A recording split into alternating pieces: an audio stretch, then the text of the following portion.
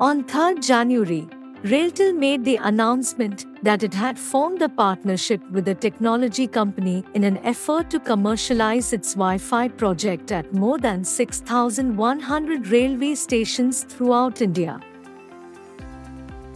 According to a statement released by the company, a public sector undertaking, PSU, under the Ministry of Railways called Railtel signed a five-year contract with a consortium led by 3i Infotech Ltd, a global information technology company with its headquarters in Mumbai.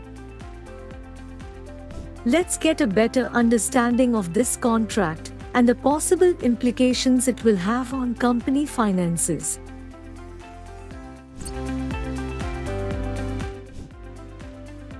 The other members of the consortium are Forensics Intelligence Surveillance and Security Technologies Private Limited, FIST, and Yellow Incorporated.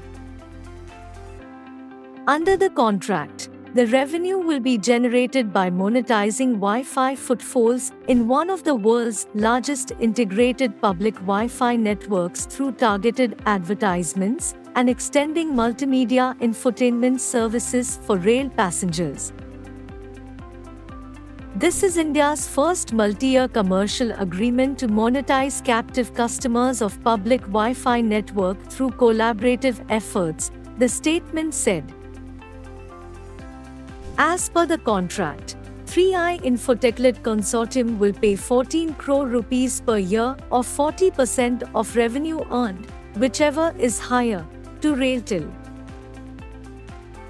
The revenue will be largely led by advertising and supported by content services based revenue, and the consolidated revenue potential from the project is expected to be upwards of 250 crore rupees over 5 year period, as per 3i Infotech's estimate.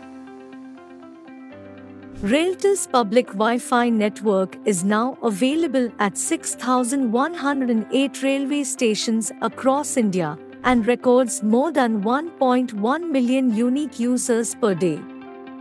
With this collaborative deal, station Wi Fi is set to evolve digital experience to users, the statement said. Railtel had posted consolidated income of 440 crore rupees for the quarter ended September 2022. This is against a 14% growth of consolidated income of 385 crore rupees in the first quarter of this fiscal year. The company's consolidated income for the half year stands at 825 crore rupees as against income of 696 crore rupees for the corresponding period of previous financial year.